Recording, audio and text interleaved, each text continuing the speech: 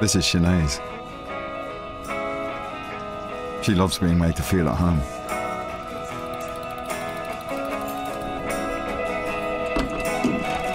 And doing her own thing.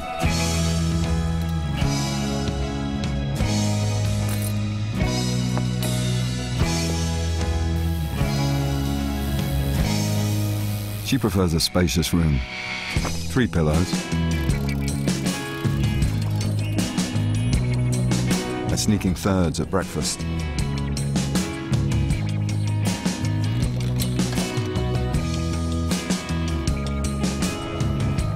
She likes Holiday Inn because we do everything we can to help you relax and be yourself.